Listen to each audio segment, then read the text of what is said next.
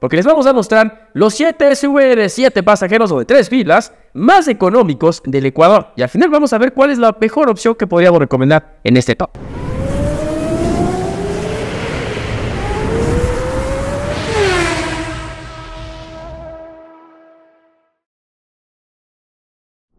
Bienvenidos a un programa más. Aquí, el único programa ecuatoriano que te va a decir la plena en sus fallas, defectos y virtudes. Bienvenidos. Compa, ¿cómo estás? ¿Qué tal amigo? ¿Cómo están? Y sí, esta vez viene un programa bastante interesante de los SUV de 3 filas o de 7 pasajeros. Sí, aquí, desde la mitad del mundo, desde Chopimond, un muy bonito lugar para visitar en diagonal a la mitad del mundo. También con su restaurante Yarabi con unas ricas y deliciosas delicias, compa. Sí, además tienen canchas deportivas, tienen alojamiento y además piscinas. Y queremos un poquito más de turismo acá en nuestro país. Además, amigos, no se olviden que si están buscando un auto seguro, pues realmente algo recomendable es tener una dashcam o una cámara que puede ayudar muchísimo en esos momentos y pueden hacerlo con los muchachos de Drive Así que ya saben, Drive Partner tiene las mejores cámaras con la mejor calidad y además un gran respaldo técnico. Así que si van a comprar una cámara para mantener su auto siempre seguro, Drive Partner es la mejor solución. Así que cómpralo ya.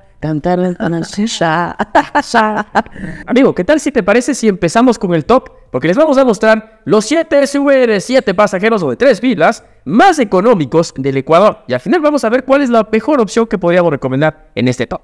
Así que vamos por el número 7, que es el Suzuki XL7. Amigo, este también es el Suzuki Ertiga, que seguramente muchos lo conocerán, llegó hace poco al país, presenta un motor 1500, una potencia de 103 HP, un torque de 138 Nm, dos airbags nada más frontales y tiene un precio desde 26.490 dólares. Me resuena la verdad un poco el tema de peso, potencia, no estoy de acuerdo mucho con el 1500 de un SUV de tres filas, pero es lo que presenta Pero es lo que hay. Es lo que hay. Eso es lo que hay. el número 2 aquí en la lista, pues compa, es el Dongfeng T5. Ah, ya, de lanzamiento. ¿ah? Sí, estuvimos exactamente de lanzamiento. No, pudimos probar, pero estuvimos de lanzamiento. Pues, eh, ¿qué te diré? Materiales, por ahí van. La calidad también, pero sí, bueno, vamos a las características, compa. Ese vehículo parte desde los 23,990 con un motor 1.8 turbo, 158 caballos de potencia, 240 Nm de torque. Para esta versión, dos bolsitas de T con asistencias tales como ABS, EBD, BA, caja mecánica de 6 velocidades y una dirección electroasistida. Que sí, para el siglo XXI ya va bien. Tiene su tecnología, pero el tema de interiores sí me quedó debiendo unos doritos. ¿Qué te diría? Vamos al siguiente, al número 3, porque ahí te tengo un modelo que, bueno, la verdad es que si veo uno en la calle, me dan un premio. Porque hablamos del DSPK 580, que creo que últimamente se llama hasta 580 Pro, que le venden. Es un auto, pues bueno, que tiene un motor 1800 litros, 137 HP, 187 Nm, 4 airbags y además se vende una segunda versión, 1.5 litros, 144 HP y 220 Nm, igual con los 4 airbags. El precio de este auto está en 23.490 dólares. Relativamente por ahí va, ¿no? Por ahí va. realmente sí. Además que hay que decir que me preocupa un poquito porque el tema de los 1800 en este tipo de SUVs tienen un poquito de problemas con el tema de los frenos. Así que ahí me preocupa un poquito y ya sabemos que DSFK no es que la, la flor en tener un poco los repuestos, así que es medio complejo. Retour X70, el gran conocido X70 de Jetour. Lo he probado desde, desde la versión básica hasta el Coupe de todo, prácticamente.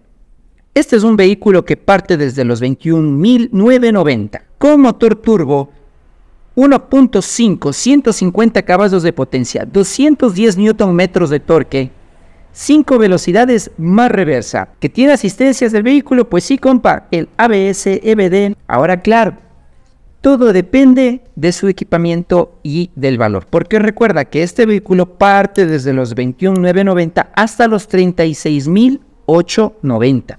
Es decir, existen varias versiones en este caso. Te tengo el siguiente, que es el Glory 560, también un auto bastante popular. De hecho, uno de los primeros autos chinos. Digamos que el, le destronó el Jetour a este auto. Además, se vendía muy bien, pero lo fue destronado por el Jetour Este auto tiene el 1800 litros un motor, 1.8 litros, una potencia de 137 HP, un torque de 187 Nm, tiene únicamente dos airbags frontales y su precio es desde 19.990 dólares. Está bien el tema de la potencia, pero igual sabemos que el auto cuando va pesado, lo que pasa en las Ford, empiezan a sufrir los discos de freno, es una, una vaina. Y me dirán, de hecho, la gente que tiene este tipo de autos, un T5L, un Glory 560. Opa, vamos con el siguiente vehículo que se trata del Wichai B70. Este vehículo parte desde los 19,990 con motor turbo 1.5 típico de los vehículos chinos, BBT gasolina con 152 caballos de potencia, 115 Nm de torque. Este vehículo es un Euro 6. Con el tema de asistencias, pues sí, también tiene muchas asistencias, ABS, EBD, ESP, control de estabilidad. Y vaya a ver, este vehículo consta de cuatro bolsas de aire. Y además que hemos hablado también que este tipo de auto es el Cevichai o el Wechai que al final tuvo un problema grave porque la marca lo vendía muy caro. Sí. Subido los 25 mil dólares y luego lo bajaron a lo que cuesta ahora. Ya costaba hasta 18 mil. Así que la gente que ya lo compró antes a precio más Lo caro, perdió. la misma marca lo devaluó y ahora lo pierde más, todavía más. Y se marchó. SUV de tres filas más barato que de hecho nosotros ya lo habíamos podido analizar y es el SWN G03E. Este auto que le habíamos hecho el gusanito porque tiene el color verde característico, pues este auto tiene un motor 1500, una potencia de 114 HP, un torque de 155 Nm, dos airbags frontales nada más y el precio de este auto es 17,490. El precio está como es lo que más atrae del auto, pero como habíamos comentado, inclusive este auto es mucho más económico en China. Así que por ahora el auto recién llegó, no ha presentado problemas, pero bueno, vamos a ver ya después de un ratito a ver cómo manejan el tema, para ver cómo está el tema de repuestos y cómo le va al auto. Pero El tema de conclusiones, compa. Pues, em, ¿qué te digo de mi conclusión? Pues, hay que saber escoger con pinzas en este caso.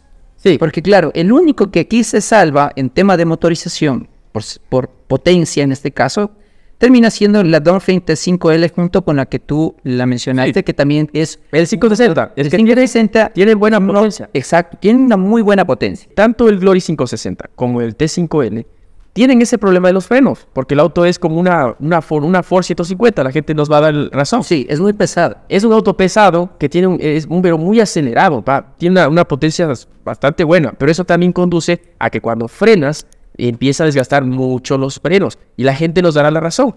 Por eso es que la Ford F-150 es un dolor de cabeza. Oye, compa, también hay que, hay que decir las cosas como son. La tercera fila de asientos, por lo general, obviamente van niños, ¿no? Bien incómodo. Muy, muy incómoda la situación.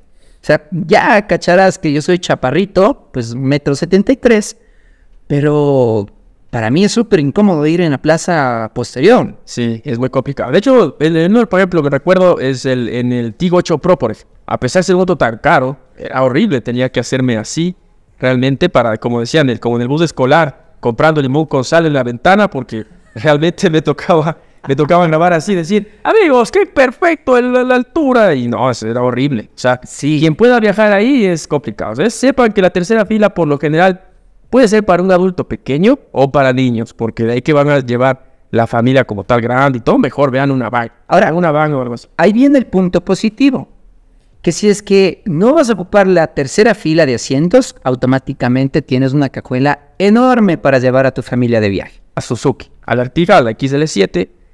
Me preocupa un poco la potencia que tiene el, auto. Es- esos 103 HP sí me preocupan mucho, porque si vemos el top, este auto, la Suzuki es, es la menos potente de todas. Sí, es la menos potente, es verdad. Va a ser un auto que sin, sin haberlo probado, y ni vas a poder, eh, digamos, con- concordar conmigo, amigo, es que va a ser un auto bastante pato, como dice la gente. Encuestas, va a ser un auto muy pato. Sí. Y gracias a Dios, este, eh, tiene ve- versiones manuales, porque este auto en automático va a ser un dolorcito de cabeza. Quizá del 560, que es como por decir, a ver, es un auto que más popular, si yo tengo daños, por, por lo menos va a encontrar el repuesto, por lo menos va a ser un poquito más confiable, porque la gente- la gente lo tiene en ojo. Pero imagínate un 580 Pro, está no, un Weichai, o sea, aparte con bajón de precio. No, es que, a ver, alerta roja cuando ustedes vean que las marcas bajan de precio Ah, sí. Ese es, eso, eso, mijo, ¿es una alerta roja aquí o en la China? Sí, compas, llegamos al final del video. Gracias por aguantarnos. Gracias, Siempre, cada fin de semana, cada domingo, ya saben. Sí, gracias y no se olviden amigos que como siempre pueden venir acá a Chaupimundo, que es aparte un lugar bastante bonito, pueden hacer turismo acá en nuestro país y tiene canchas deportivas, piscina, alojamiento y además el rico restaurante Yavi, hagamos un poquito más de turismo acá en nuestro país. Y no se olviden amigos también que tienen a Drive Partner como la mejor solución para cuidar su auto. No se olviden amigos que si están buscando una cámara para poder con una buena calidad y además respaldo técnico, yo les recomiendo, les recomendamos a los muchachos de Drive Partner. Yo creo que es la mejor solución y además así tienen siempre su auto seguro. Así que ya saben, cómprala. ya saben, amigos. Listo, señores. Sí, amigos, no se olviden de seguirnos en todas las redes sociales oficiales. Pueden ir a fallas.com y obviamente, y puede también ser miembros por un dólar al mes, tanto a Fallas como a Badulaska. Aquí los despedimos. Listo, compa. Nos vemos para la próxima. Nos vemos amigos. Bye.